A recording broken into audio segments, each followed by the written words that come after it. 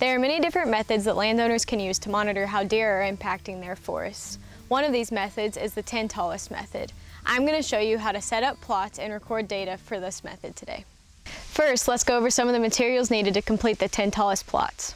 Materials include a clipboard, a permanent marker, a tape measure or yardstick, an 18 and a half foot string, flags, tags for the plants, and PVC pipes. Optional materials include a GPS and camera, but you can use the GPS and camera on your smartphone as well. For step one, you'll be selecting two to three species. It is recommended that you choose woody seedlings, but wildflowers may also work.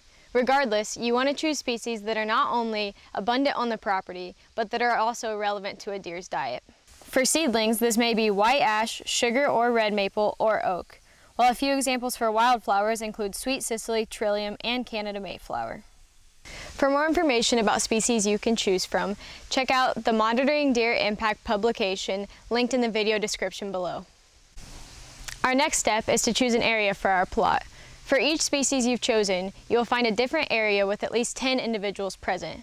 It's important when choosing your area to avoid forest edges and areas with high human activity. In step three, you will begin setting up the plot. To do so, you will pick a center point and then take a PVC pipe marked with the plot number and place it in the ground. Next, take your 18 and a half foot string and tie it to your center stake. Then, place a flag at the end of the string at each cardinal direction. Step 4 is to fill in the data sheet. To do so, return to the center of the plot and record the date, location, observers, and approximate number of individuals of the chosen species in the plot. If your focus species is categorized as herbaceous or shrub, you will also need to record the actual number of individuals in the plot. For step 5, we will measure the 10 tallest individuals of our chosen species in the plot. Each tag should have the species name as well as the number that corresponds to the data sheet.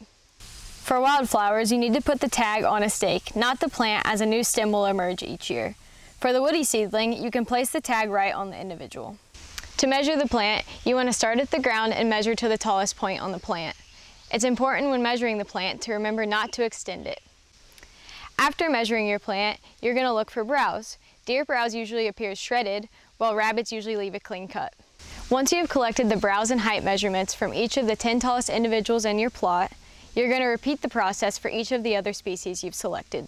After completing all of the plots, you will be leaving your center stakes and tags, as you will be revisiting the plots in the following years.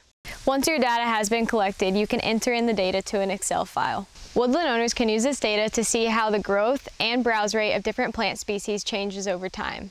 This information is important to help woodland owners monitor deer habitat conditions and impacts in their forests. For more information about how to monitor deer impacts in your woodland, check out the Monitoring Deer Impacts publication in the video description below.